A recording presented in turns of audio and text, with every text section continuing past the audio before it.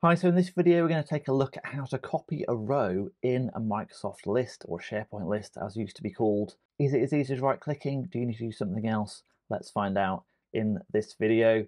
If you're new to the channel, I'm Gavin Jones from MeeTime. We help organizations be more efficient, making their employees' lives easier, happening to use Microsoft 365.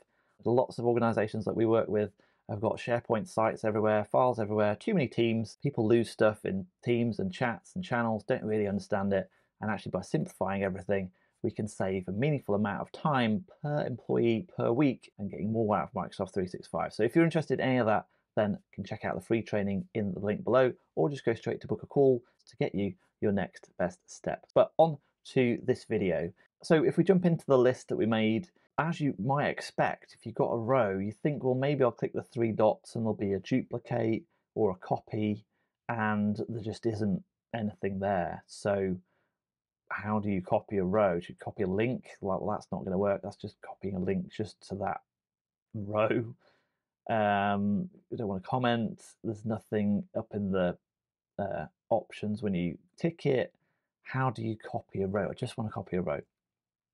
And the solution is click edit in grid view. Then it turns your list kind of like into an Excel list, really and if you click it is some, sometimes is a bit fiddly depending on what you click on because if you clicked on here and clicked on the hyperlink it's going to open the thing for you. It's like ah I don't want to do that. If you clicked on uh, uh, somewhere here it'd like pop up an option. You kind of need to click in the cell but not actually on the content.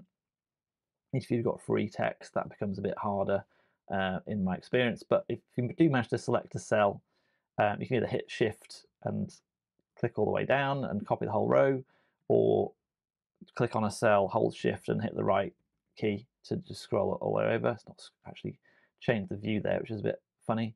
And then just do, if you try and like right click it, it might go funny. So I think it might just selected that one cell there.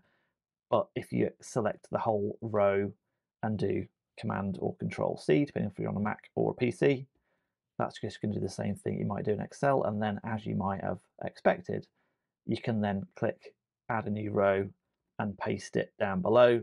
Because we've got the ID visible, it doesn't obviously paste the ID because that's got to be a unique number and it'll create the next one for you and copy all of that same information.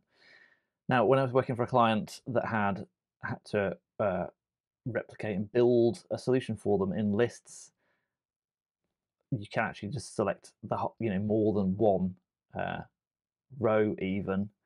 So say we want 10 rows copied, we can just copy the whole thing, come down to new item, make sure that the cursor's there, hit uh, Command or Control V, and then it's going to paste those whole 10 records for us as copies underneath as well. So check out this video next on how to make Microsoft lists more useful and hit the subscribe button and give us a thumbs up if this was useful let me know any comments you've got. Love to go through the questions and produce a video on it if we've got any more comments on Microsoft lists. Thanks for watching so far and see you in the next one.